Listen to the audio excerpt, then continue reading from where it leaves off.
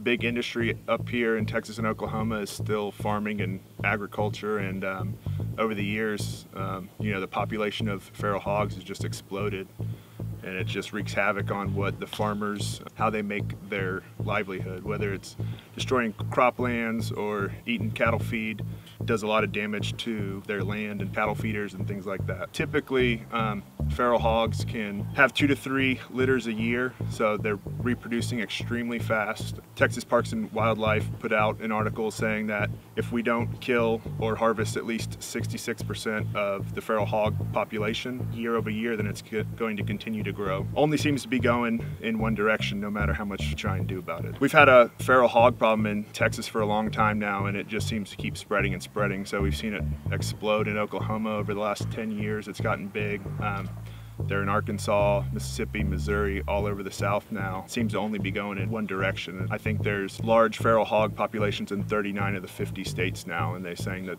that's only going to go up. Feral hogs are a varmint in the eyes of Texas Parks and Wildlife, so there's no bag limit, there's no hunting license actually in, in Texas that you need for it. You're allowed to shoot them 24-7. You can use night vision, thermal scopes, rifle, bow, trapping, so there's lots of methods that they give us to go out and harvest these, these animals.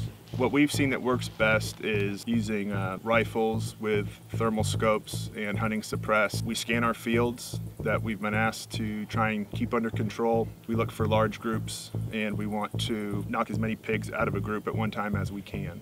Pigs can't control their body temperature, so during the day, especially down here in Texas and Oklahoma, they're down in creek beds, rolling around in mud, they're a lot harder to find. So we like looking for them out in open fields where we can make the most out of each trip. As soon as you kind of take your foot off the gas, that population starts to blow up again. With all the farmland in the Midwest and how quickly pigs can adapt to their surroundings, we've seen them change a lot in Texas over the last 10 to 20 years.